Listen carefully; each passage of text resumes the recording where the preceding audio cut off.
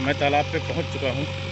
तालाब इसमें जीरा डाला गया था। बहुत ही छोटे छोटे से, बहुत ही आकार इनका छोटा था।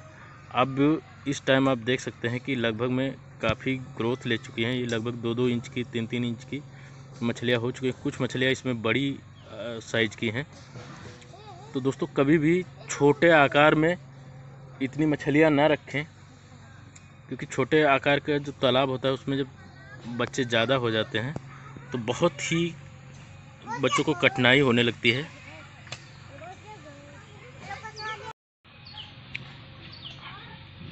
पानी की जब भी कमी पड़ती है और पानी जब कम होता है तो ऑक्सीजन की कमी भी हो जाती है साथ साथ में तो सारी मछलियाँ ऊपर आ जाती हैं और ऊपर आकर के इस तरीके से तैरने लगती हैं।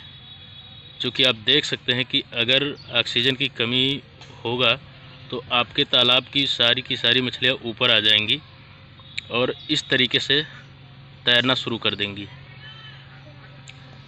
देखिए, आप देख सकते हैं कि वो लड़का जो मछलियाँ पकड़ ले, पकड़ रहा है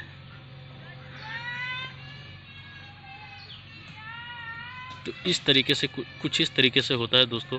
हमेशा तालाब में पानी की मात्रा को बरकरार रखें और ऑक्सीजन अच्छी तरह से, जैसे पानी या ऊपर से गिरा के या दवा डाल के किसी भी माध्यम से ऑक्सीजन की पूर्ति करते रहें।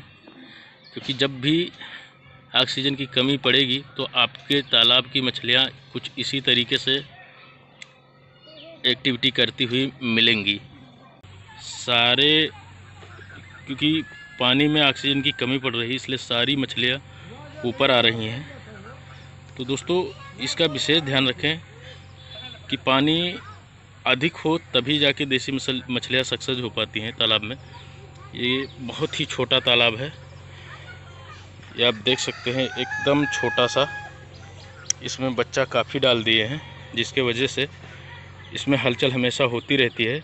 तो आप भी तालाब बड़ा बनाएँ बड़े तालाब में ही देसी मछलियों को डालें, क्योंकि अच्छा लाभ अगर कमाना है तो तालाब का साइज़ जो है बड़ा होना चाहिए, जिससे कि जितना ही देसी मछलियाँ, पंखार जिन, मछलियाँ जिनको बोलते हैं, वो मछली जितना ज़्यादा रेस करेगी, उतना ही ज़्यादा उसका ग्रोथ होगा। तो ये मैं आपको दिखाना चाहूँगा, आप इस साइड से देख सकते हैं कि सारी मछलियाँ सब ऊपर ही हैं।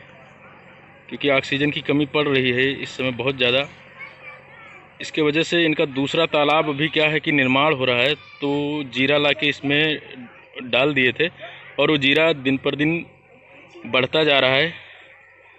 तो दोस्तों, अब ये जीरा जब थोड़ा बढ़ जाएगा, तैयार हो जाएगा, फिर ये जो नया तालाब बनवा रहे हैं, उसमें डालेंगे। देखते हैं नए तालाब का ग्रोथ कैसा होता है। आप वीडियो पे बने रहें, हमारे चैनल पे बने रहें। और आगे मैं अपडेट देता रहूँगा कि कैसे इनका ग्रोथ होता है नए तालाब में। फ़िलहाल के लिए इस तालाब जो अभी छोटा सा जहाँ पे मछली का जीरा डाले थे, इसमें तो अच्छा ग्रोथ हुआ है। आगे हम देखेंगे कि उस वाले तालाब में जब ये मछलियाँ जाती हैं तो नए मिट्टी में कैसे बढ़ती हैं। दोस्तों, वीडियो देखने के लिए आपका बहुत बहुत धन्यवाद। Thanks for watching thank you so much अपना प्यार ऐसे वीडियो पे बनाए रखें और अपने दोस्तों के साथ शेयर करें लाइक करें कमेंट करें और सब्सक्राइब वाले बटन को ज़रूर प्रेस करें। बेल आइकन को भी दबाएँ। फिर मिलते हैं अगले वीडियो में। जय हिंद।